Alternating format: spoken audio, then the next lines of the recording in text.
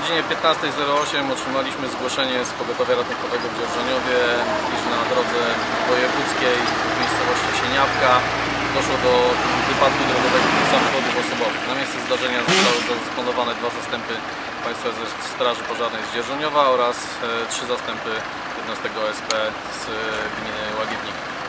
Na miejscu zdarzenia zastaliśmy dwa mocno palące się samochody. Nasze działania polegały na zabezpieczeniu miejsca zdarzenia oraz podaniu dwóch prądów piany ciężkiej na palący się. W pojazdach znajdowały się dwie osoby, natomiast jedna osoba poszkodowana, kobieta kierująca jednym z samochodów, została zabrana przez pogotowie do szpitala. Na tą chwilę stwierdzone zostało uszkodzenie nawierzchni asfaltowej drogi, więc czekamy na zarządcę drogi.